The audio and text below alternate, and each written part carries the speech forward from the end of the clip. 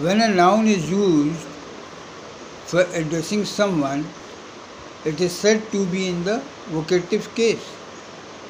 Come on, girls. Come into the kitchen, Mohan. Finish your meal, dear Romy. Oh God, where are you? Brothers, sisters, countrymen, lend me your ears. When the form of noun is changed to show ownership or possession, it is said to be in the possessive case. The possessive case of a noun is usually formed by adding apostrophe s to the noun.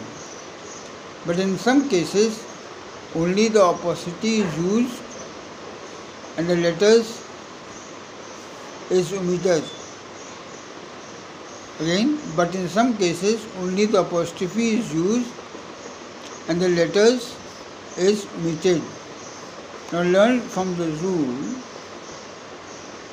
Learn S is used with singular nouns and plural nouns not ending in S.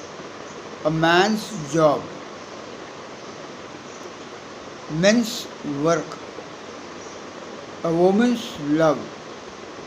A woman's parlor. A child voice. The children's room. The driver's seat. The horse's mouth. The bull's horn. India exports. A simple apostrophe is used with plural nouns ending in s.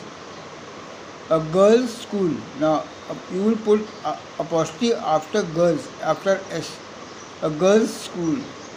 The students' hostel.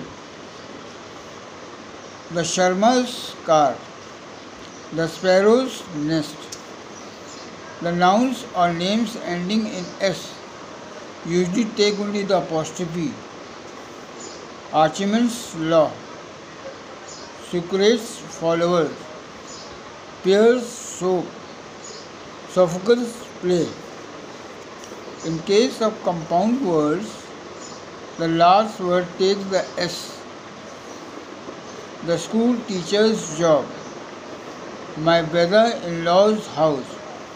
In case of a noun or the title containing several words, S is used only with the last word.